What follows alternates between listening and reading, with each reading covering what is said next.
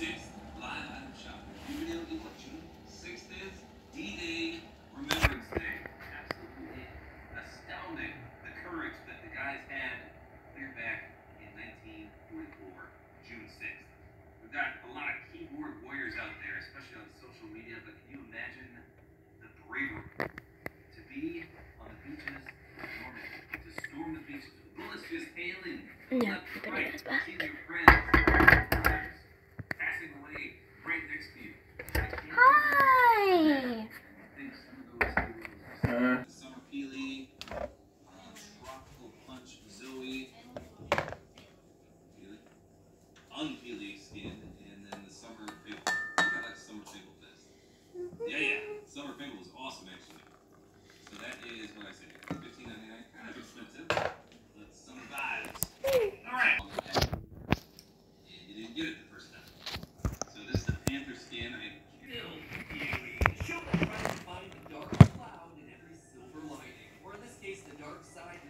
white side of the force. If I'm being honest, I wish the world could be as black and white as the Star Wars universe makes it out to be. Where you can tell the good guys are good guys because they were all white